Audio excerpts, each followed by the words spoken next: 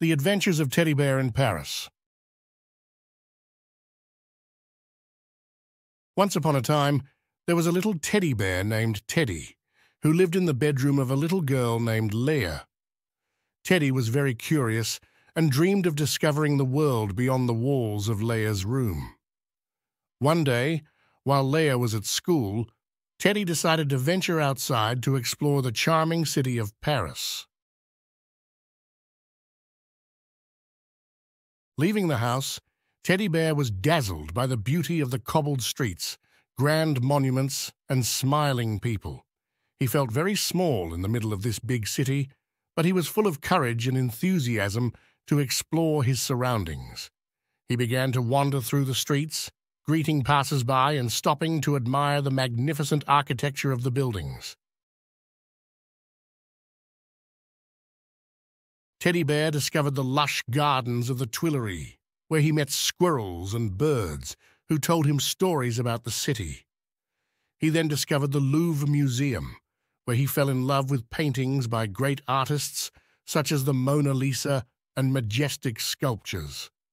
Afterwards, Teddy Bear strolled along the Seine, enjoying watching boats pass by and the illuminated bridges at night. His stroll took him to the Eiffel Tower, where he climbed the many steps to admire the stunning view of the city. He felt so small next to this tall lady made of metal, but he was so happy to have been able to see it.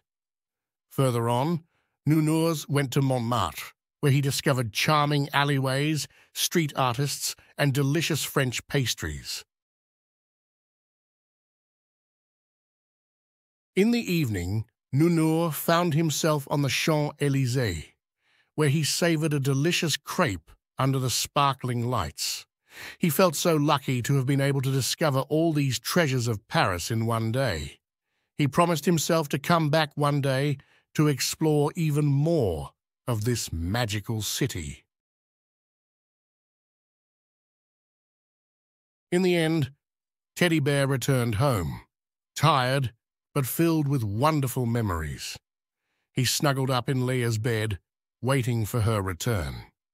When Lea came back home, Teddy Bear told her all about his adventures in Paris, and she was so happy that her little stuffed bear had been able to experience such an adventure. And so, Teddy Bear and Lea shared a thousand and one magical stories thanks to Teddy Bear's stroll through the streets of Paris.